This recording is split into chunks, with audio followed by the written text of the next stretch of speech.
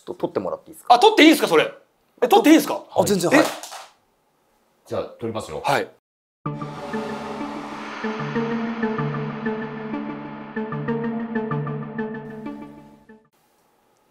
どうも、島田秀平です。始まりました、島田秀平のお階段巡り。皆さん、今回も見ていただきましてありがとうございます。さあ、今回のゲスト、え後輩芸人です。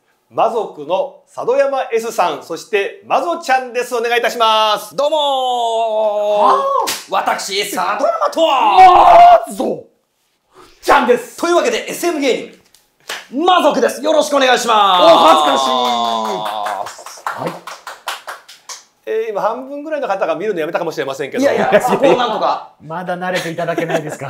ぜひ帰ってきてほしいですね。そうですねあの前回も出ていただきましたが、階段はもうちゃんとね、してますので。はいご用意しております皆さん見た目とキャラクターに惑わされずにですね、はいはいえー最後までお付き合いいただきたいと思います。あ よろしくお願いいたします。の、じゃあどんな二人なんだってね、はいはい思いますよね。ネタの方は最後にですね、階段しっかりこう話していただいた最後に、はいおまけで、は、はいいえー披露していただいてますからね、皆さんそちらの方もチェックの方お願いいたします。お願いいたします。お願いします。あとは YouTube チャンネルもやられてますね。はい、はい。ちょっとまだ始めたてではあるんですけども、はえーコンビでやっております魔族のジャンク天国という、はい。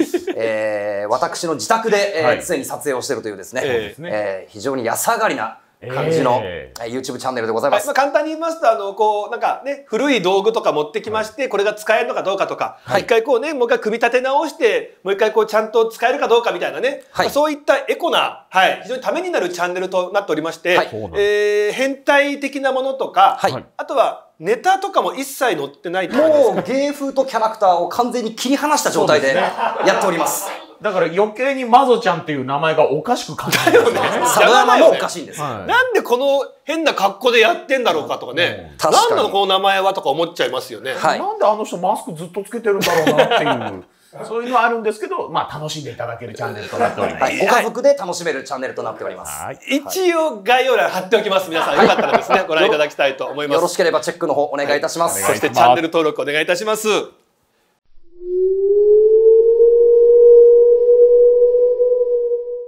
今回はどういった話でしょうか？今回はですね、あのまあ、一族の話とはちょっと変わりまして、はい私個人でちょっと体験したお話を一つご用意しましたのでちょっとお話しさせていただいてもよろしいでしょうか？実体験ですね。実体験となりますはいはいよろしくお願いいたしますよろし。くお願いいたします、えーこの話はですね、えー私がちょうど、えー大学を卒業してその年には行けなかった卒業旅行を翌年に行こうっていう話で、うん。えー友人の K 君と2人で卒業旅行に行った時のお話になります。男性二人で行ったんです男ね。2人ではい。来ましてですね、えーその彼っていうのがなんていうんですかね、えーコンクリート像、うん。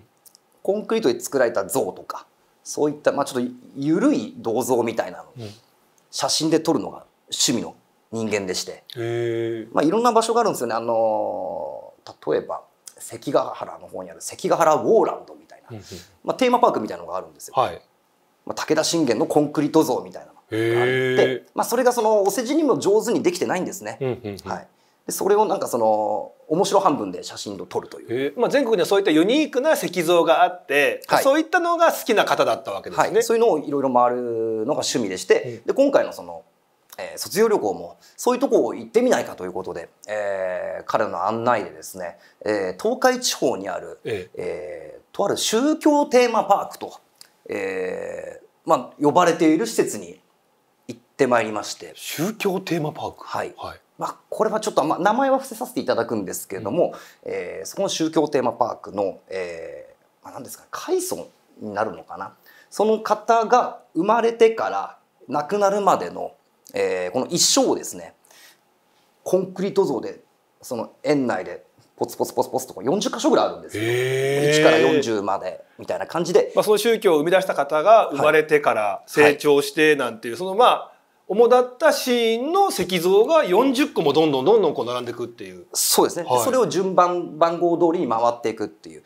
まあそれもまたそのまあお世辞でもあーうまいとは言えないような、まあ、下手馬的な感じのコンクリート像でして、えでその写真を撮りに行こうということでそこに行きましてですね。でまずそれ着いた時にびっくりしたのが、そこの宗教テーマパーク入り口はまあこういう高速道路の料金所みたいな感じのゲートがこうやってあるんですけど それ無知でやるんですあね無知です。いません。ちょっと ちょうどよかったんでね。ごめんなさい。はいはいはい。このゲートがあるんですけどもこのゲートがもうボロボロに崩れちゃってましてえ。でその本来だったら多分料金とかいただくそういうなんか箱みたいな公衆電話みたいなとこあるじゃないですか、えはいはい。そういうところもボロボロでもう窓とかも割れてるんですよ。ええでここ入っていいのかなと。もうちょっと廃墟になってるような感じ。ほぼ半分廃墟みたいな感じだった。もう人もほとんどいなかった。ほほとんどっていうか自分と経区員がいなかったんではい。でもいいのかなと思って。まあ立ち入り禁止はあってないんでまあいいんだろうということで中に入りまして。で早速そのとあるその歴史上のその人物の開祖の方の、えー生まれた瞬間のコンクリート像がもういきなりあったんですね。ええああったあったあったってことで。でお互いでこう写真なんか撮ったりとかして。わ顔がやっぱ下手馬だな、まあ、いい味出してんなみたいな感じで、もうちょげてまして。でマップを見たらあここの道まっすぐ行くと、えー、さあじゃああそこの奥の方までが10番か。でこここう回っていくと20番まであって最後あこの山の方のてっぺんまで行くとあ40番でゴールになるんだ。ああなるほどなるほど。あこれやったらまあすぐに回れそうだなということで、よしじゃあ順番に回っていこうってことで、えー、2番3番4番とこう順々に回っていったんですね。で途中でおそらくその全盛期だった頃にあったと思われる売店があったんですね。はい。でそこがもう本当あの昭和の売店みたいな感じでレトロな感じのあれだったんで、で扉も開いてたんでちょっと中覗いたりとかしてそこも僕写真撮ってたんです、はい。でそしたら戻ってった時に連れの K 君が「おいお前変な声出すなよ」つってビビらそうとしてっていきなり言われたんですよ。ええ。っつって「いや出してないよ」嘘つけなとお前今その売店のところがなんか変なうめき声みたいに出しただろ」って言われて「いや出してないってそんなの」つって「え？っ?」つって「マジで?」つって「いや出してない本当に自分出してなかったんですよ、はい。黙って写真だけ撮ってたんで「なんか空耳じゃないの?」つってバカなこと言って」って言いながら今度はその番号また元通りまたルートに戻って番号通りこう回ってきましてですね。結構2時間ぐらいかかったのかな？最後の40番がある山登ろうっていうところになって、で結構なその獣道な感じなんですよね。もうちょっともう手入れもされてなかったんですね。ちょっともう荒れてきちゃってたっていう。もう草ぼうぼうですよ、はい。もう道もほとんどないんですよね、まあでも一応道っぽいのはあるんでじゃあここの方上上がればこれでゴールだなっつって。でも時間も結構もう遅かったんですよね。6時はもう過ぎてたかなと。夕方。夕方。結構暗くなってきてる時間帯で、でこう山を登ってったらなんか人の話し声がしたんですねゴニョゴニョゴニョゴニョゴニョゴニョ、はい。でこの山を登ってるとそのゴニョゴニョゴニョゴニョゴニョって声がどんどん大きくなってくるんですよ。でも一つ言ってくるのがその山って何もないんですよ。うん。別に民家もないですし。なんなんか変な声聞こえてくるなゴニョゴニョゴニョゴニョって。山の上の方行けば行くほどどんどんどんどんその声がゴニョゴニョゴニョゴニョゴニョゴニョゴニョっつって。で本当こっちも茂みとかなんですけどもとこの辺で喋られてるかなぐらいの。ええ。おめっちゃ声聞こえてくんじゃん」つって「いやもうなんだこれ」と思って。でもまあこれなんかその下の売店でもなんか変なうめき声聞こえたってたけどなんかそのどっかから街のそのなんかその繁華街とかのね何かの音が流れてきてるんじゃないかと。風に乗ってとかね。よくあるじゃないですか、そういうの。あんなもんなんだろうななんて思ってて気にしてなかったんですよ。そしたら一緒に登ってた K 君も「おいゆうきささっきからさすげえ男の人たちの喋り声聞こえてこねえか」っつって「あお前も聞こえてた?」っつって「なんか気持ち悪いな」っつって言って。でもこれ多分そ風に乗って街のなんかの音が来てるだけだから。そこ茂みバッて見てみりゃ早い話だよなっつって「そうだな」っつって茂みバッて見たらそっちの方繁華街なんか何もないんですよ。もう山しかなくて「えっ?」つって言って。でまだゴニョゴニョゴニョゴニョってまだ聞こえてくるんですよ。え。あこれちょっとやめない？っつって言って。もうなんかもうほとんどその頂上行ったらもうこれほぼコンプリートなんですけどもうコンプリートいいや。っつって帰ろうっつって、うん。ちょっと不気味だよな。っつって。変なうめき声聞こえたってお前言ってたしもうやめた方がいいな。っつって。言って降りよう降りようっつって。でその山を降りてったんですよ。はい。さっきは登っていけば登っていくほどその声が大きくなったって話だったじゃないですか。えで下がれば声小さくなると思ってたんですけど、えはい。下がれば下がったのに声がどんどん大きくなってくるんですよ。ええゴニョゴニョなんかもう本当おーみたいな。す男の人たちがもう本当すぐそこまで来てるぐらいの。ただでも周り茂みしかないから分かんないし「えー、これやばいよ。これマジやべえだろ」っつって言って。もうダッシュで駆け下りてそのテーマパークバーンってって。でバス来てたんでもうそのバスすぐ乗ってもう宿にすぐ帰ったんですよ。いやもう最後のあれ気持ち悪いなっつって。なんだここっつって。宗教テーマパークとか行ってっけど。もうとんでもねえとこじゃねえかよこれっつって。もう起きなきゃいいけどこの後と思って宿に戻ったんですね。はい。で戻ったら夜自分金縛りに会いまして。え。体動かなくて。でその相部屋だったんですけどその K 君は何ともなかったえうん。夜中に「お前なんか大丈夫か？勇気」っつって「なんかうん言ってっけど」っつって。でももうゆすられてるんだけど全然ゆすられてるのは分かんないけど体動かないから何にも反応できなくて朝起きて「いやお前昨日夜さ俺金縛りやっちゃってさ」つって「あらそうだお前だってうう変な声出したもん」つって「いやまあなんか昨日のあれだよ絶対なんか呪われたたたりかこれ」つって言って。で、まあ、そのまま、えー旅行が終わってはい。僕当時まあ実家にまだ住んでたんですけど実家戻ったら母親が「ああちょっと家入んな家入るな。今家入んな」っつって言われて「お前昨日どこ行ってきた?」って言われて「いや実はこうこうこういうところに行ってきて昨日夜さ金縛りあっちゃってさ」っつったら「ああやっぱ変だと思ったんだお母さん昨日変な夢見たんだよ」っつって言って。はい。で私も昨日夜金縛りあってさつって「お前変なとこ行ってんじゃないよ」つって言ってその仏壇にある塩を持ってきてそれ背中に背中肩っつうんですかね。をファッファってやられて「もう二度とそういうとこ行くんじゃない」っつってなんかやたらこっぴどく怒られて。はい。でそこから自分1週間ぐらい謎の高熱が出まして。ええ。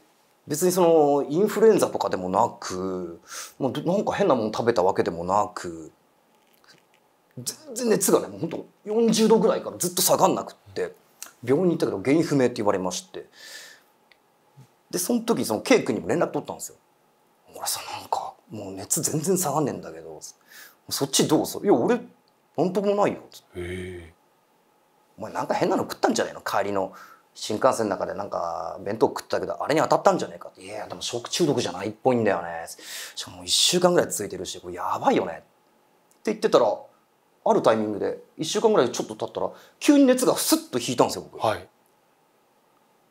で病院行っても「あもうもう平熱なんで普通にあの動いてもらって大丈夫ですよ」って言ってくれて。何だったんだろうなこの熱気持ち悪いわと思って。いやでも一応熱下がったし元気になったから。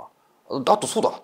あの時行った写真撮り終わって現像終わったんでそうだな。その K 君に渡す日程決めようかなと思って K 君に電話しようと思ったんですはい。したらそのタイミングで K 君から電話かかってきたんですようん。どうっつって言って「あもしもし」っつって言ったら K 君じゃないんですよ女の人の声で「あもしもし」っつって「あのゆうきくんですか?」ってことで言われて「あはいそうですけど」つって「すいませんこれ K 君の携帯っすよね」どちら様ですか?」って聞いたら「K の母親です」ってあ、お母様だ。あお母さんですかゆゆうきくんっていうのはあのご本名ですもんね。あ私の本名ですねはい、で「あえなどうしたんですか？急に」っつって「いやあのーうちの子とこの前まで一緒に旅行かなんか行ってません行ってましたよね」って言われて「あはい行ってて」っつって。でちょうどあのー写真とかもできたんでいつ渡そうかって話をちょうど今電話しようと思ったらかかってきたんで「びっくりしました」っつって。でえっ、と「K 君に代わってもらえませんか?」っつったらちょっと実はその旅行から帰ってきてしばらくしてからその K 君の様子がおかしかったと家,、うん家でその規制上げたいとか精神錯乱みたいなのを起こしてたらしくてえでやっと落ち着いたと思って会社に朝行ってきますって行くタイミングでその日のその電話をもらった前の日かなんかに線路に飛び込んじゃったらしくえ。てえ、え、え？自分で。はい。でそのお母さんから「えゆきくんなんか知りません？うちの息子なんか悩み事とかそんなのあったのかしら?」つってなんか聞いてませんか?」って言われて「いや何も聞いてないっすけど」どうしたの？なんかあんな変なあんな急に精神錯乱起こすような子じゃなかったんだけど「かゆうきくんも知らないか分かりました」つって「えーちなみにすいません。ケイ君今大丈夫なんですか?」つったら。一応その時そのまま一命は取り留めたと。ああそうなんですか。ことで一応その大きい病院に運ばれたんですけど、えーこの今日のおそらくですけどこの現在までちょっとまだ入院をされてると。おそらくちょっともう復帰は厳しいんじゃないかと。社会復帰できないんじゃないかっていうことで寝たきりになっちゃってだってもう20年近く前の話ですよね。そうですね。ずーっと入院されてまた療養中と療養中っていうかまあちょっとおそらく今の医学だと完全な復帰は難しいと。リハビリ動向とかじゃないっていうことでして。こういったあの軽はずみな気持ちで宗教テーマパークに行ってしまった末路のお話でございました。その場所というのは、はい、なんか心霊スポットみたいな風に言われてたりはする場所なんですか？全くないですね。今もあるんですかね？あります。おそらくでもそはい。の当時で結構もうこう荒れてたということはもうさらに今ちょっと本当にもう廃墟みたいな感じになってる可能性あります？手入れされてなければおそらくめちゃめちゃもう荒廃しちゃってるのかなっていう。で隣かなんかにそこの宗教の施設かなんかがある確かあったんですけどでもそのテーマパーク自体がそんな荒廃してるってことはもうその宗教自体も今はないんですかね？隣の宗教施設も人気はなかったんですよね。まあその時たまたまだったのかもしれないんですけどただその場所に行って謎の声をしかもたくさんの人たちの話し声を聞いてたわけですよね。めちゃくちゃ男の人たちのなんかすごい喋ってる声がどんどんどんどん近づいてきてるのは感じたんで。でその時に、まあ、里山さんは、まあ、お母さんがそういうものが見えるとかはい。力があったので、まあ、お祓いはしてもらえて、はい。だその後ちょっと体調は崩しましたけどなんとかそれで済んだ。持ち直したっていうところで。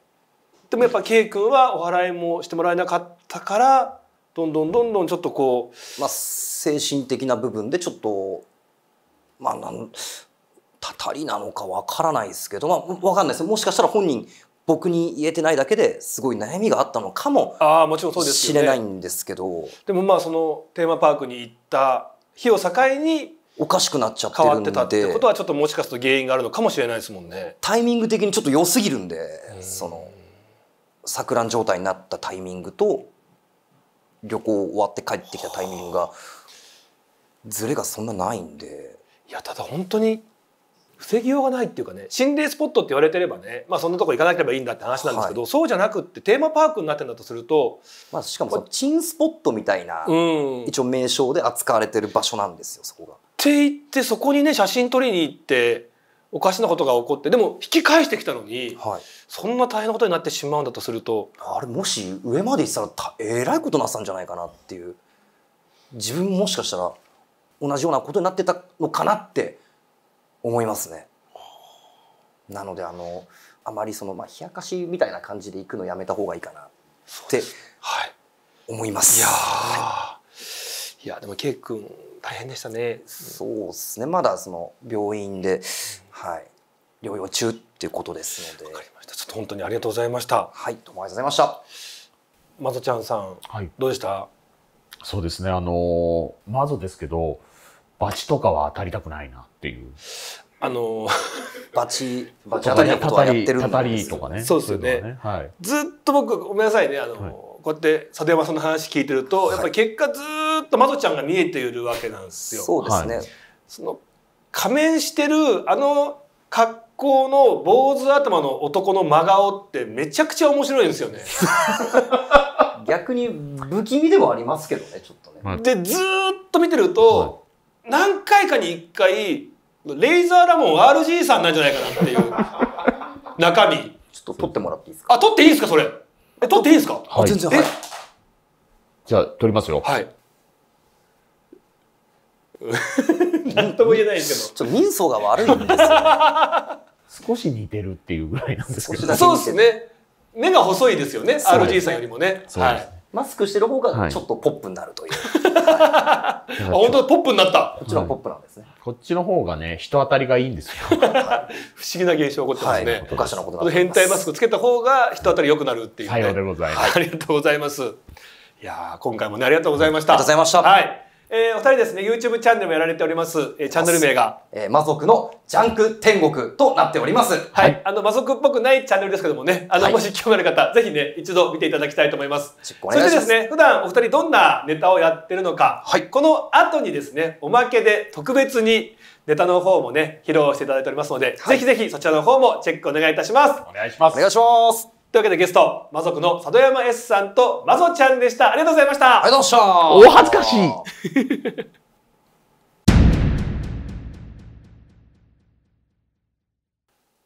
魔族の SM コント行きましょう !PPAP プレイおい、 one, two, three, four You have a mooch? ムチ I am a muzzle! マゾああマゾのプレイあれ !You have a mooch? ムチココパイナップルパイナップルああパイナップルプレイはいマゾのプレイパイナップルプレイジャッジャジャジャジャジャジャジャわおレコード大賞以上 PP PP? PP でした。放送禁止みたいになっちゃいましたね。すいませんね。